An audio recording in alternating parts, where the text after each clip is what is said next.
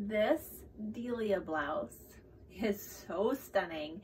It is the most beautiful, feminine, lightweight, adorable blouse for spring.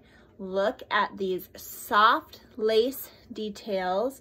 The embroidery is just so beautiful and it is not super see-through. So I'm wearing a nude bra and I would be very comfortable going out in public like this without layering a cami underneath. She is a nice flowy body, so you can definitely wear her untucked. My preferred way is just to give her a little front tuck into your favorite pair of jeans. Um, but the Delia blouse is gorgeous, stunning. Wear her right now with a little cardigan thrown over her, and then you have these gorgeous details to show off once the weather gets warm and we start showing off our arms. She comes in three sizes, small, medium, and large.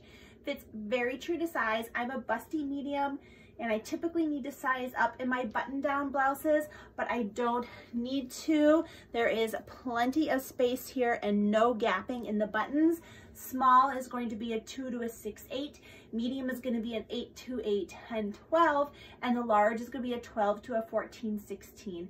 And again, that sizing is um, dependent on how you like your tops to fit. Um, if you're between sizes, definitely size up for a more flowy look, size down for a slightly more fitted look. But like I said, there's plenty of room here in the bust for my busty girls, so you don't have to worry about that puckering down the middle.